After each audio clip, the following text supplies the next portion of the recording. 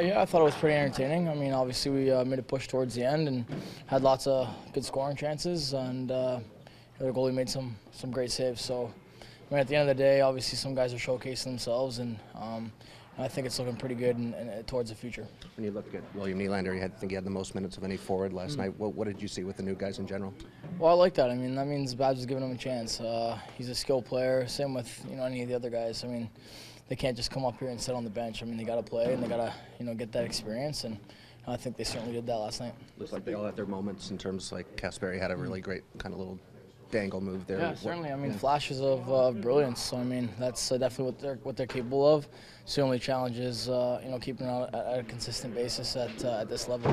What's the biggest adjustment, Nazem, for a guy with a lot of offensive skill, like yourself when you broke in, to uh, to learn sort of where that line is and advice maybe you could give Yeah. William and Kasperi? I mean, that's really what it's all about, just puck management. I mean, sometimes when you have uh, you know, a lot of talent or a lot of skill, you, you tend to uh, complicate things, especially when things aren't going your way and you start to get frustrated, maybe try uh, to do a little bit too much. So that's really one thing, uh, especially as a young guy, that I, I struggle with a little bit. But um, as you play more games, you definitely start to get, get the hang of it. How long did you feel that process took you to really get comfortable? Um, I mean, probably probably a year or so. I think uh, after playing obviously in the American League, I mean, I learned a lot there from uh, playing under Dallas, and you know, I had a few stints coming up and down, so obviously I had a bit of a taste of that. And um, you know, it's not just about puck management; it's also also playing in the defensive zone and just uh, really just managing the entire game. Good to see Garret look good too when he came back.